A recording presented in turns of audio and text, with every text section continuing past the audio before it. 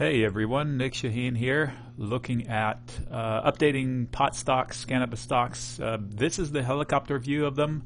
Here I'm looking at MJ in general, uh, C, uh, Canopy, ACB, uh, Cronos, which is having a really good day. Actually, they're all having a good day. Not sure what about. I'll leave the fundamentals up to you.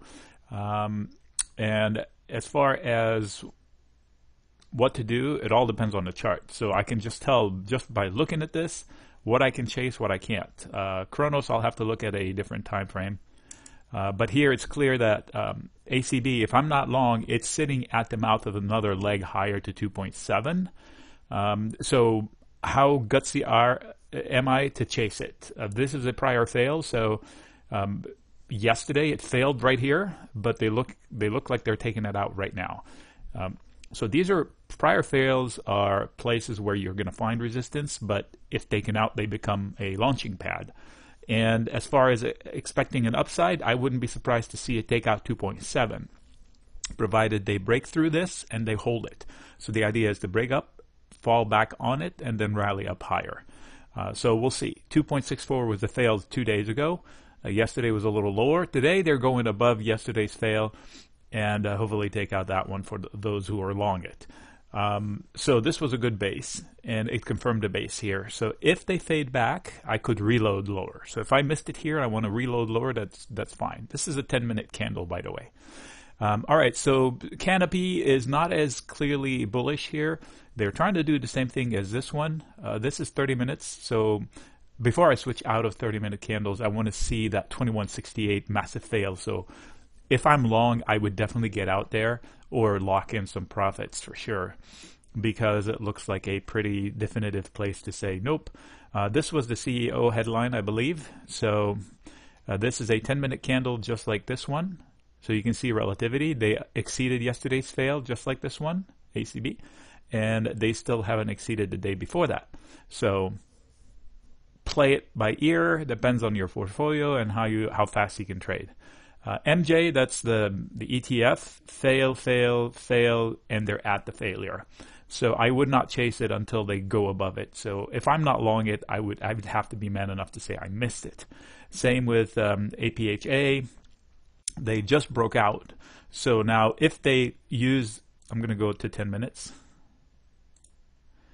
Did I? Yes, I did. So they broke out. This is same candles as these two here. So for relativity, they broke out above yesterday's high and the day before and the day before. So this is a new high for the last three or four days, which is a good news. So if you consider that this was a descending channel, now they're above it. So the idea is if I missed it, I could wait for a pullback to the top of the channel and then they're going to use it as support to go higher or just say, okay, I missed it. I'll catch it next time. All depends on personal speed. Um, Hexo, too tight to see. I'm going to zoom in to five minutes. Maybe you can get some information. So on the five minutes, it's still struggling below yesterday's high. So as far as the whole shebang, they're all moving up so big. This one is underperforming. So is it late or is it just underperforming and I should stay away from it? Same comment here. Uh, this one is up 1.5%, but uh, let me zoom in to compare it. Fairness. Uh, I'll go to 10 minute candle. Um, descending trend is still mired. I can see from this trend right here on a 10 minute candle uh, so that's one day, one day, one day, one day, just to give you a, an idea.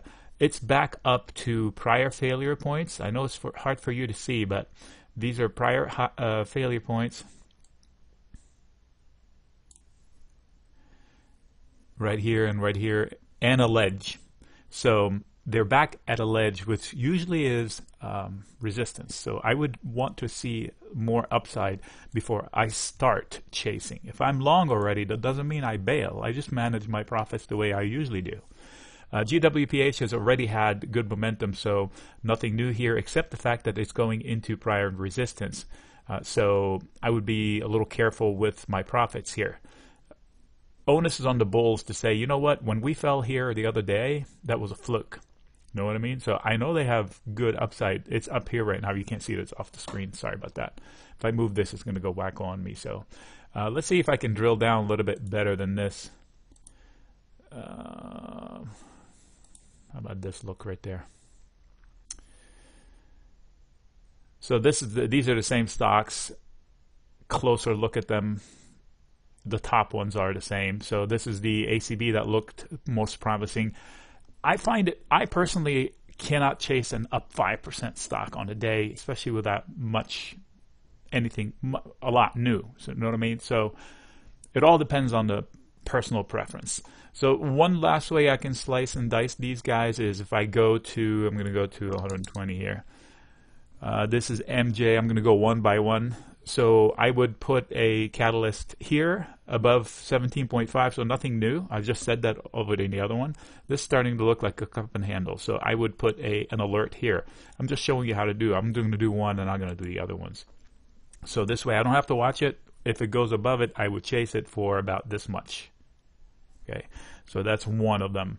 Uh, CGC, that's Canopy is next. Canopy is already broken out. I have drawn this before, and this was the upside potential of it. So it's on track. If I wanted to add, it's that orange line right here, because then it becomes some sort of a cup and handle, inverse head and shoulders.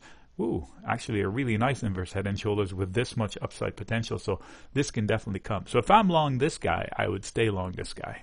I would probably add above 28. I mean 21, whatever that number is, 2170 something. So that's um, MJ. ACB, I'm not going to say that. It's hard for me to say it, so we'll go with the ticker. Same. I would chase it above here. I'll put an alert. I guess I'm going to do more than one. I would chase it for a trade. But these are each one of these is a level, is a pivot level. So each one is an exit point. You can see I pointed out in my prior video that this was a squeeze to a neckline. Now they're going to have to negotiate the neckline. Once they break out of it, they have potential to hear another neckline, blah, blah, blah, blah. Uh, Tilray apparently today was getting some love, so I would chase it above there. If I'm not long it, I missed it for this little leg of it. Now onus is on the bulls to uh, get out from there. We'll look at Cron. Look at that. We said that it was tight from prior videos on two different levels. And now we're at the upper end of things. So there's a gap up here. Maybe they're going for the gap. So if I'm long, I'll probably chase it to 7.6. And then I'll decide if I want out. This is a giant ledge. So if I'm long, I can ride my pr profits. Uh, probably too long to start chasing it now. Maybe above this line. 7.4 was a major fail. The upper end of that candle. So is it going to be a problem? I'm not sure. You know what's important here? This candle right there. It has, I'm going to draw a box around it. Don't ask me why. But it sticks out. I'm going to do that. We'll see how that plays out in future videos. Okay, so th these are, I think I'm going to stop right here. Otherwise, the video will be too long. Oh, come on. Okay, one more. Add alert. This looks like an inverse head and shoulders in the making. It's the spirit of one, loosely interpreted one. What does that mean? It's headed into a lot of resistance, but if they take out the resistance, then they can go to 5.8 or higher. Uh, a lot of resistance at 5.68. Um, so arguably, it's already in an inverse head and shoulders. It depends where you draw the neckline. So if I'm long this guy, I'd stay long it. I'll probably nibble long if I if I see a little more upside, especially above this one, kind of a confirmation. Depends if you trade a level or a trend. Some people like to trade the trend line. I prefer levels. So since there's a failure right here, major failure after a tremendous rally, I'll wait to see what happens up there. All right, Nick signing out.